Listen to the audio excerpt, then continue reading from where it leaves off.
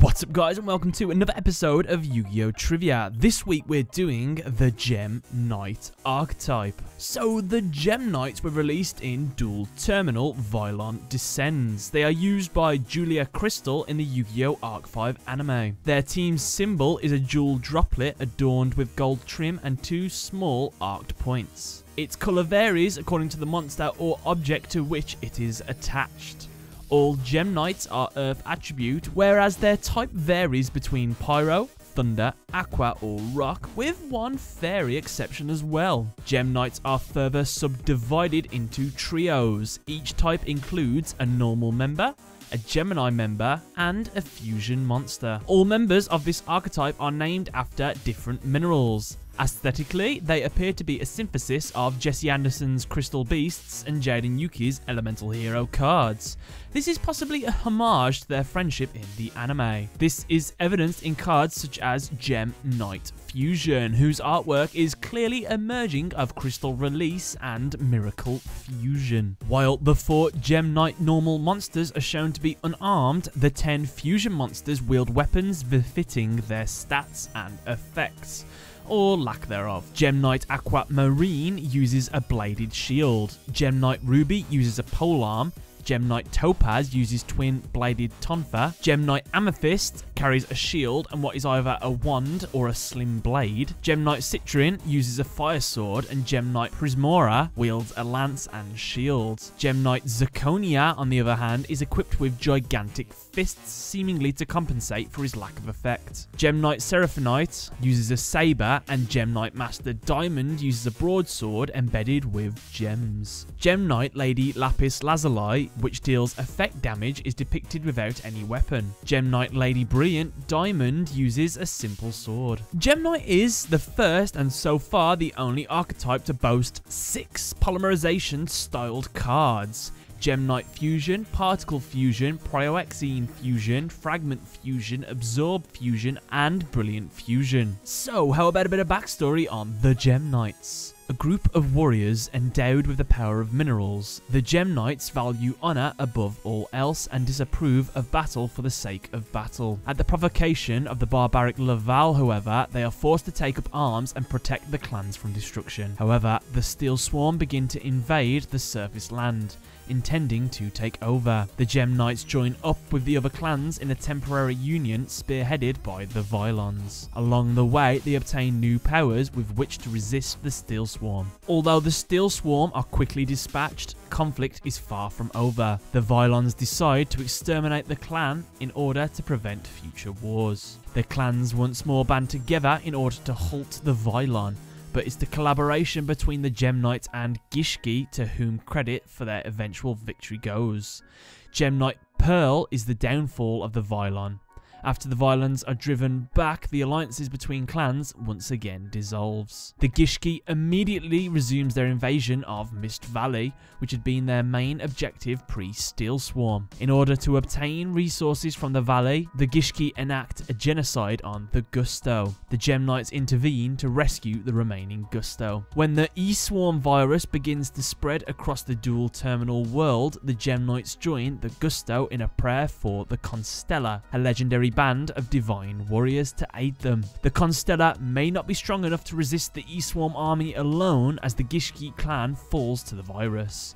Knowing this, the Gem Knights fuse into the most powerful Gem Knight. Dark Line warrior Caligorgon appears to be a corrupted combination, probably by the E-Swarm virus, of Gem Knight Crystal, with parts of Gem Knight Zirconia, right arm and left leg, Gem Knight Master Diamond's left arm and right leg, and Gem Knight Prismora's damaged head. Well then, there's a bit of the story, so how about we move on to the actual monsters. First up, Gem Knight Alexandrite.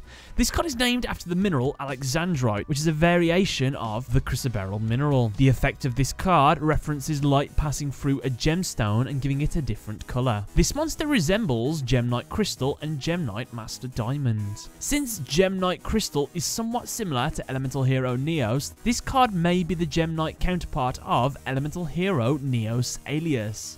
This is backed up by the fact that both are level 4 effect monsters. This card has 100 attack and defense less than Neos Alius. Also, they both can support their older forms. Neos Alius gains the name of Neos, while Alexandrite summons Crystal. Next up, Gem Knight Amber. This card is named after, well, the Amber. This card, along with Gem Knight Lilite, are the first Gem Knight Gemini monsters. As well, they are meant to work in tandem, recycling Gem Knight monsters from your hand, graveyard, and banish zone.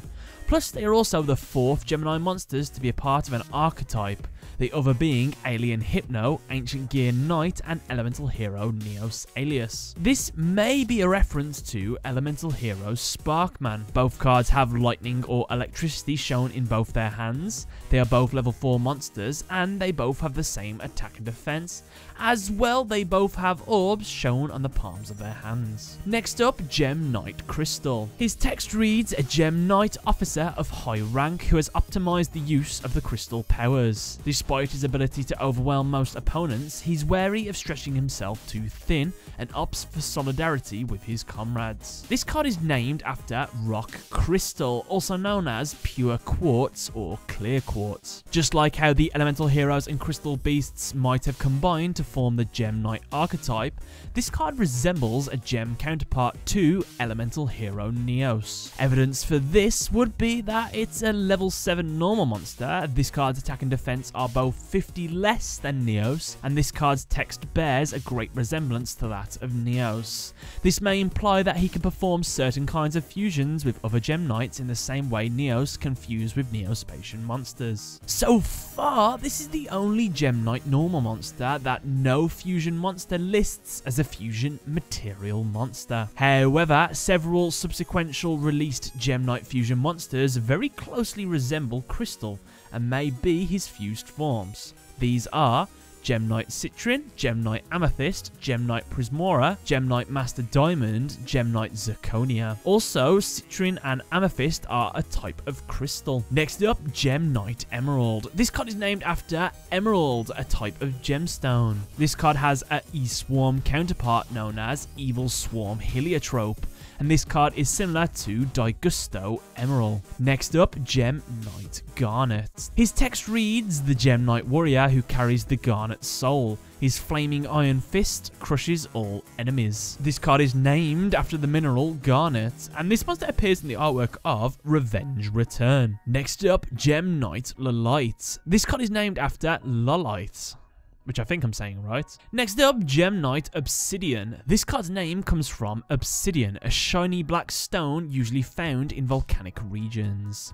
This is interesting to note as the Lavals are known to have volcanic homeland, and Lavalval Ignis bears a strong resemblance to this card, and this card is a possible Xyz material for Ignis. The giant bead necklace around this monster seems to be that of a Itako, a type of traditional Japanese shaman said to communicate with the dead which could be a reference to this card's effect. However, Itakos are traditionally blind and are all female, and this monster appears to be male. Next up, Gem Knight Prismora. So this card is named after a prism, which makes it the first Gem Knight that is not named after a gemstone. This card also appears to have been a fusion summoned using Gem Knight Crystal and Vylon Prism.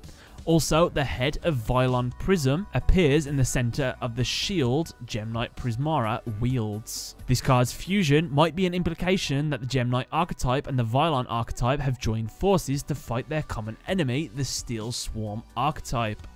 And this card appears in the artwork of Pyroxene Fusion. Next up, Gem Knight Pearl.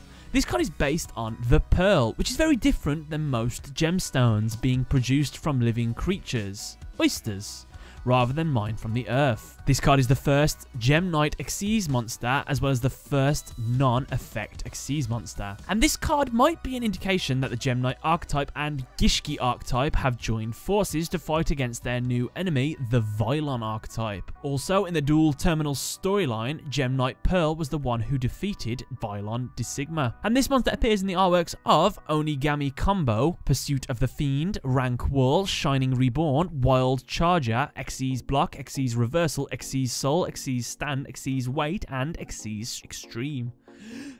Next up, Gem Knight Sardonyx. This card's name is based on the mineral onyx. Next up, Gem Knight Sapphire. His text reads that his sapphire power commands the waters to protect him from attack. His comrades trust in his silent protection. So this card is obviously named after the mineral sapphire.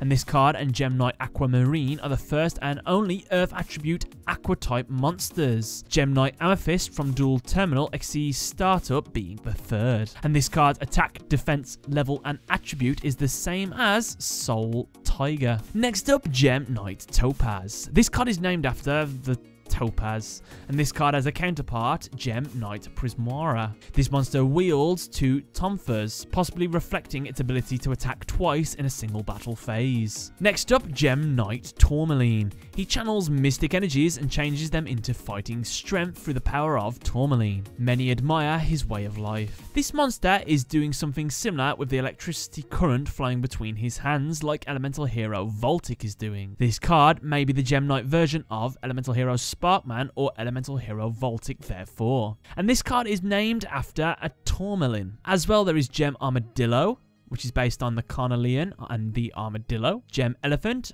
based on the Red Beryl and the Elephant. Gem Merchant, based on the turquoise and magician. Gem Turtle based on Jade and the Turtle. And next up we have Gem Knight Lapis, whose text reads the best of friends with Lazuli. This soldier deeply cares about the well-being of her friends. So this card can be seen as the normal monster counterpart of Gem Knight Lazuli. Together their names become the name of the mineral they are named after, Lapis Lazuli.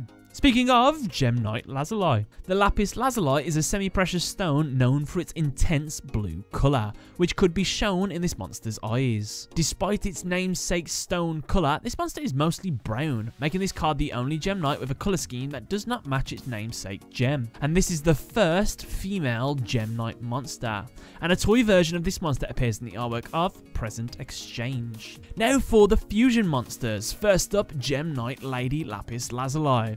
This is the first Gem Knight fusion monster to have originated from the anime. The Lapis Lazuli is likely shown in this monster's eyes and armor. This card's artwork is highly similar to El Shaddoll Construct. Both monsters also possess similar effects, namely Construct sends a Shaddoll monster to the graveyard, while Lapis Lazuli sends a monster from the main or extra deck to the grave. Next up, Gem Knight Master Diamond. This card is named after a diamond. This card resembles Gem Knight Crystal. This card is likely the boss monster of the Gem Knight, seeing as it has Master in its card name. As well, it has multiple effects involving other Gem Knight and their fusion monsters. Also, by fusion summoning this card correctly, it will have at least 3200 attack, just like the boss monster of the Vylon, Steel Swarm, and Gishki archetypes. This card seems to be the elemental hero Divine Neos counterpart for the Gem Knights. And this card is the first Gem Knight fusion monster to require free fusion material monsters, none of which are specific. It shares this distinction with its counterpart, Gem Knight Lady Brilliant Diamond. This monster appears in the artwork of Absorb Fusion. Next up, Gem Knight Lady Brilliant Diamond. This card is the female counterpart of Gem Knight Master Diamond, and this card is the highest original attack and level among all Gem Knight monsters. Next up, Gem Knight Amethyst. This card's name refers to a amethyst, a violet coloured variety of quartz. Like all other Aqua-type Gem Knight monsters, this card has higher defense than attack. This card also has the reversed attack defense and same level as Gem Knight Crystal. This card is likely the fusion of Gem Knight Crystal and Gem Knight Lullite. The origin of the word Lullite is violet, the same colour as Amethyst. Both Lullite and Amethyst wear a ring on their helm and wear an armoured skirt. The weapon and shield that Amethyst use are the same colour as the Gem Knight Lullite. Next up, Gem Knight Aquamarine. This card is named after the mineral Aquamarine. This monster has the highest defense out of all the Gem Knights, and this monster's weapon is a bladed shield, likely based on its effect. Next up, Gem Knight Citrine. This card is probably named after Madeira Citrine, a bright orange gemstone. The arm and sword of this monster are similar to those of the Lavals. This card appears to have been fusion summoned using Gem Knight Crystal and Gem Knight Garnet or Gem Knight Ruby. Next, Gem Knight Ruby. This card is named after the mineral ruby. This monster looks like Tajadol Combo from Kamen Rider Triple O. Next up, Gem Knight Seraphinite. This card is named after Seraphinite, a trade name for a particular form of clinochlore, a member of the Chlorite group. The stone's name is in turn a reference to the Sephirim, the Angels of Heaven. And this card is a Gem Knight fusion of Gem Knight Lazuli and Constellar Virgo. This card along with the Gem Knight Lazuli are the first female Gem Knights to be shown and this is the first female Gem Knight fusion to be shown. This card is unable to be fusion summoned with solely Gem Knight monsters unless DNA transplant makes all monsters light. This is the first Gem Knight fusion monster with this trait. However, Crystal Rose, a light monster, supports the Gem Knight archetype and can be used to fusion summon this card. This is the only Gem Knight monster to have type other than Aqua, Pyro, Rock or Thunder. And finally we have Gem Knight's Zirconia. Zirconium dioxide, sometimes known as zirconia, is a white crystalline oxide of zirconium. Zirconia are used to simulate an image of a diamond, meaning they're fake being that Gem Knight Zirconia is a fake diamond. It's an imperfect version of Gem Knight Master Diamond, reflected by its stats. This card is tied with Gem Knight Master Diamond for having the highest total based attack and defense of any Gem Knight monster. And this card is the first Rock-type Gem Knight fusion monster. The second is Gem Knight Master Diamond. This monster bears a resemblance to Gramarg the Rock Monarch, which is a potential fusion material for this card. And this is the only non-effect Gem Knight fusion monster. Unlike other Gem Knight fusions, this card does not hold a weapon, having two large fists instead. This follows the pattern of Gem Knight fusions having weapons that relate to their effects. This card has no effect, so it has no weapon. And this is the only non-effect fusion monster in the game without any specifically named materials. As a bonus, here are some possible crystal fusions outside of their own archetype. Carigorgon, Illuminescent Knight, Constellar Sombra, Constellar Virgo, Daigusto Emerald, Evil Swarm Heliotrope, Lavalval, Ignis, and Vylon Prism. And with that, guys, that's another episode of Yu-Gi-Oh! Trivia done. This was a long one, so please smash that like button. I'd love to hear your thought of which your favourite Gem Knight monster is. Don't forget to leave a like again, and thanks a lot for watching.